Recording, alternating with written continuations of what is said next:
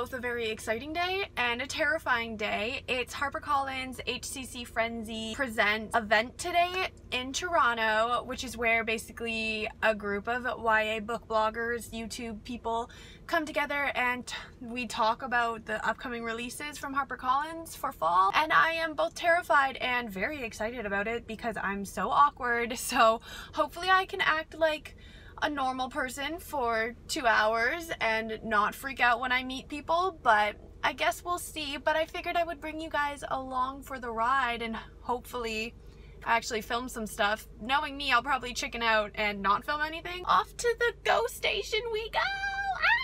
Cigarettes in tiny liquor bottles, just what you'd expect inside her new Balenciaga turn dreams into an empire. We're now in Toronto we got our Starbucks. I actually don't have any Wi-Fi and I'm too cheap for data so I have no idea where I'm going. So hopefully we find this place before 1:45 when I'm supposed to be there. It's 1:30 now so we'll see how this goes I guess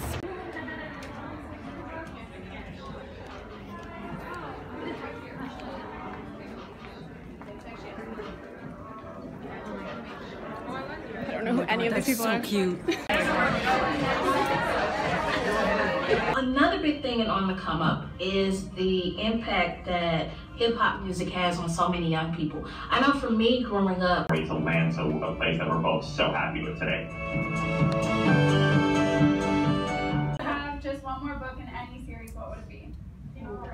Harry Potter. Uh, one day, one day, Harry Potter. I heard Harry Potter, I agree. you had an answer for this, Brennan. Oh yeah. Um, I don't know if any of you are Vampire Academy fans, but I'm So next we have something really special. We have the author of The Iron Flower and The Black Witch, uh, Laurie Forest is here with us today. Um, so we're gonna do a quick little question answer. Welcome to Toronto. Black Witch is about a young woman named Elloren Gardner who grows up in a very closed magical society. And um, she looks just like her grandmother, the last Black Witch, who was like a great battle mage of her people. But Elloren, um, unlike her, her famous grandmother, um, um, is believed to not have any magic. Um, so she um, is sent to a, a magical university to study to become an apothecary. Um, and when she's thrust into that world, she meets people from all other groups for the very first time and is forced to confront um, uh, the reality that she's been told a lot of lies about all the other people in her world and that maybe the villains in her world aren't all these other people, maybe they're actually her own people, the Gardnerian ages.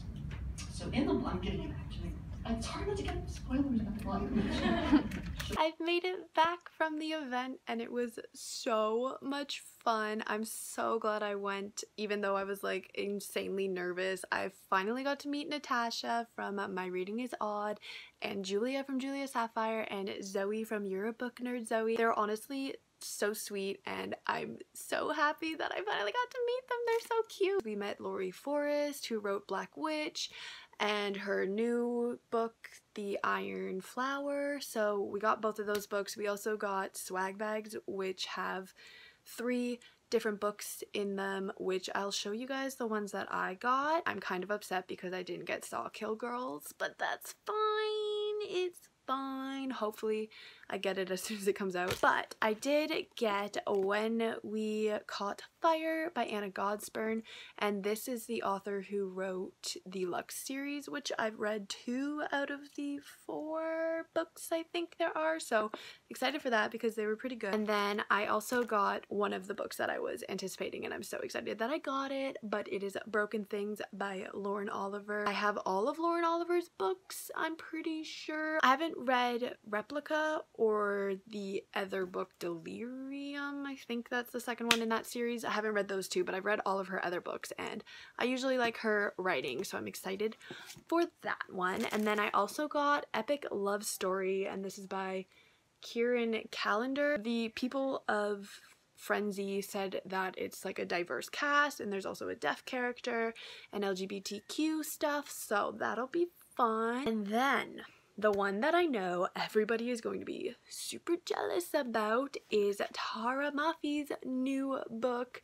and I am so excited about this. I actually traded this for a sex book that I'm sure if you guys follow a couple people on Twitter, you'll see that I was running down the halls screaming if anybody wanted my sex book. Eventually got it traded for a very large expanse of the sea and I am beyond excited about it because everybody was really wanting it and I can't believe that I actually got it. I traded it for a Patrick Ness book and I'm sorry Patrick Ness, but Tahereh wins this time. We also got like a couple of other goodies in our swag bag. So we got like a notebook, we got a bunch of pins. I'm super excited because we got an Angie Thomas on the come up and the Hate You Give pin. So like, yes.